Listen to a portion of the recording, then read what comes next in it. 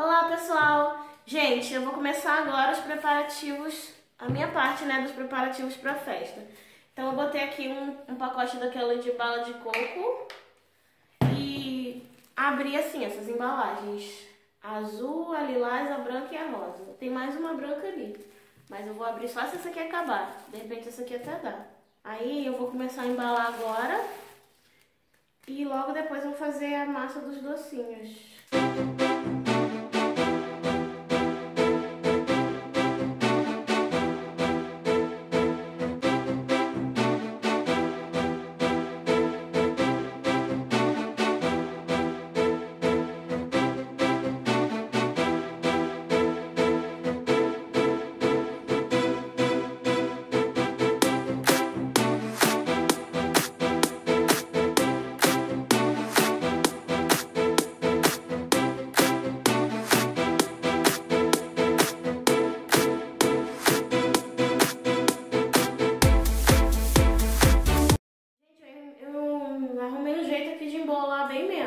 Aqui tá tudo junto ainda, tem um monte, ó. Ao invés de eu tirar um e depois embalar, eu já coloco a bala aqui, ó. Embrulho, ó. Tá vendo? Já fecho ela. Já dou aquela enrolada pra fechar. Depois eu destaco, ó. Tá vendo? Aí ajeito assim. Tá vendo como ele embola bem menos? Diferença, olha. Olha a diferença pra esse e pro primeiro que eu tentei fazer, ó. Aí eu vou fazendo usando esse método. Então, gente, eu terminei com aquelas embalagens de bala de coco que tinha. Deu essa, essa, esse tanto aqui, ó. Mas ainda tem bastante bala de coco lá na outra vasilha. Tem mais de meio pacote. Então eu vou comprar mais embalagem. Vou ver se eu compro um rosa pink. E aí mais tarde eu enrolo. Agora eu vou fazer a massa dos docinhos, porque aí eu vou lá na rua comprar algumas coisas que faltam. E aí Nesse tempo que eu tô lá na rua, o docinho esfria pra quando eu chegar eu enrolar. Então aqui tem oito caixas de leite condensado. Eu vou usar quatro pra fazer de brigadeiro e quatro pra fazer do moranguinho. E também tem o doce de leite ninho que eu também vou fazer. Aliás, acabei de lembrar que eu esqueci de comprar açúcar fino. Porque aqui em casa eu uso só o açúcar cristal. Então, gente, vou pegar ali uma tesoura e vou começar a fazer a massa dos docinhos. Pro brigadeiro vou usar essa panela aqui, ó. Vou usar essas duas pra fazer os dois. Só que não dá pra fazer as quatro caixas de leite condensado de uma vez só, porque ela precisa de espaço pra aumentar de volume. Então eu vou ver se eu vou usar duas. Vou usar duas cada vez, porque senão eu vou usar duas, depois vai ficar uma só pra ir sozinha. Então vou fazer duas e duas. Porque aqui ainda vai entrar margarina, ainda vai entrar chocolatado. Fora que na hora que ela tá fervendo, ela aumenta. Então se a panela estiver muito cheia, ela transborda. Vou ver aqui como é que fica o volume de duas. Não sei se essa panela dá os quatro, não sei. De repente até dá. Quando eu fazia lá em Cabo Frio, era uma panela... Acho que era um pouco maior do que essa. Aí dava pra fazer até quatro, mas essa aqui eu não sei. Olha, gente, a quantidade que deu, ó. Com certeza que não vai caber mais duas, mais outras coisas que eu vou colocar. Então vou parar por aqui. Melhor fazer assim, aos, aos, em duas vezes e dar certinho, do que arriscar fazer uma vez só e ainda dar tudo errado e estragar a receita. Porque se tiver muito cheio e começar a transbordar, depois pra tirar um pouco, botar em outro lugar, nossa, atrapalha o doce todo. Gente, pra fazer essa receita eu sempre uso Nescau mesmo. Que usa outras marcas, tem gente que usa chocolate mesmo em pó. Mas eu acho que o que fica mais gostoso mesmo é com Nescau.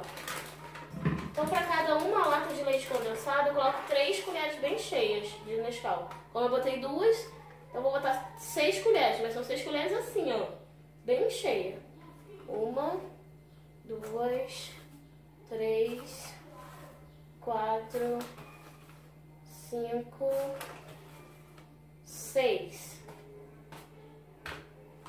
E também, para cada leite condensado, eu uso uma colher de sopa de margarina. Vão duas colheres de margarina. Já de margarina, não é aquela colher que a gente usa para bolo, que a gente enche colher mesmo.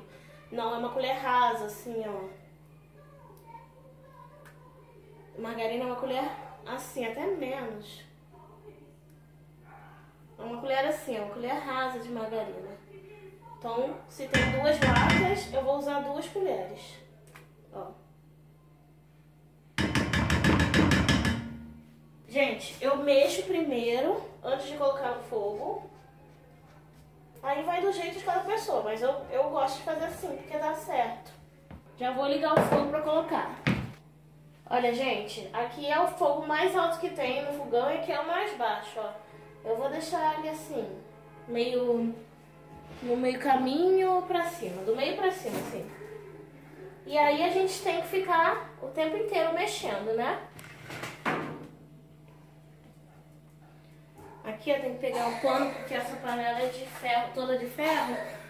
Então ela esquenta até a alça, daqui a pouco vai esquentar. Gente, esses docinhos eu fazia todo, todos os dias, segunda a sexta, não. Eu fazia domingo, né, pra segunda, pra vender na faculdade. Fazia domingo pra segunda, até quinta pra sexta. Então eu fazia de domingo a quinta, todos os dias, porque eu fazia fresquinho. Eu fazia hoje, vendia sempre tudo. Aí, na manhã, eu já chego a fazer de novo. E quando eu comecei a fazer os docinhos, eu tava grávida da Rebeca. Então, eu esquentava a barriga no fogão. E me ajudou muito, foi uma coisa que ajudou muito, sabe? Uma coisa que eu gostava de fazer, que as pessoas gostavam, nossa, gostavam demais. No dia que eu não conseguia fazer, porque às vezes acontecia algum imprevisto, eu não conseguia fazer. Um dia ou outro, a maioria dos dias eu fazia. É, aí as pessoas ficavam perguntando, minha amiga Amanda, ela mais que vendia, porque na época era assim, eu acordava, minha rotina era essa, assim, segunda a sexta. Eu acordava às seis da manhã, porque eu pegava sete, sete dez ou sete vinte na faculdade. Aí saía uma hora, 15, é, 10 para uma a gente saía. E eu tinha uma bolsa de iniciação profissional, então eu tinha que trabalhar, eu trabalhava assim, de secretária lá, auxiliar de escritório. E eu trabalhava até às sete da noite. E. Não, eu trabalhava até. Não lembro até o horário de trabalho, só sei que eu chegava em casa às sete da noite. Que era mais ou menos uma hora para chegar em casa da faculdade. Aí chegava em casa, fazia o docinho, ia dormir lá para as 11 horas. No outro dia, mesma coisa, acordar 6. E aí, nessa época eu tava grávida da Rebeca. Então era essa rotina sempre assim, mas eu gostava muito. Me, me ajudou muito, sabe? Aí, gente, eu tava até vendo um vídeo da mamãe ontem, que ela tava fazendo recheio de coco, que o recheio dela tava dando algumas bolinhas. E esse negócio da bolinha, brigadeiro também pode dar. A questão desse negócio da bolinha é você ver aonde o fogo tá pegando. Então, dependendo da sua panela, a chama do fogão, às vezes tá pegando aqui, ó. Ou às vezes tá pegando mais na beirada. Então você tem que mexer mais aonde a chama tá pegando. E dar às vezes uma volta onde ela não tá. Então aqui nessa panela, eu sei que a chama pega nessa parte aqui, ó. Gente, não pode nunca parar de mexer. Eu tô parando um pouquinho ainda porque tá frio ainda. Então é aqui onde eu tenho que concentrar de mexer. E também aqui fora. Mas aqui eu, tipo, dou três mexidas aqui e uma fora. Deu três mexidas aqui e uma fora. Então a questão é se concentrar onde a chama tá pegando. Que é onde que tá esquentando mais rápido. Gente, recebi uma ligação, tive que cortar o vídeo. Nem lembro o que eu tava falando. É... Pra fazer um brigadeiro bem firme, assim, eu espero ele tá soltando da panela. Mas só que eu não desligo quando ele tá soltando da panela, não. Quando ele tá soltando é bom pra brigadeiro de colher. Aí depois que ele soltar, você ainda tem que ficar mais um tempinho, deixar ele mais um tempinho no fogo. É meio que de olho, sabe?